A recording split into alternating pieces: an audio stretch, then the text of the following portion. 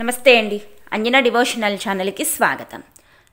ఈరోజు మన వీడియో ద్వారా అనంత పద్మనాభ స్వామి గుడి ఇరవై అడుగుల ఏకశిలా విగ్రహం ఎక్కడుందో ఈ వీడియో ద్వారా తెలుసుకుందాం.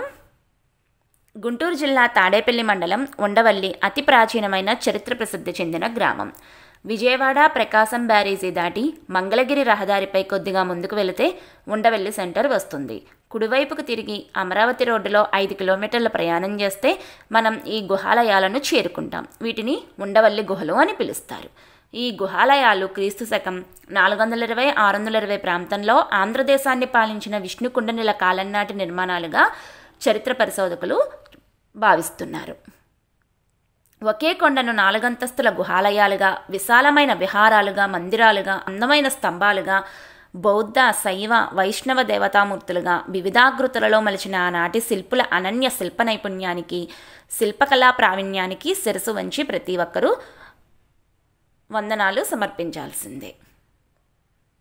చూడండి ఇక్కడ విగ్రహం అనేది చాలా చాలా చాలా చాలా బాగుంటుంది. చాలా ఆశ్చర్యంగా ఉంటుంది.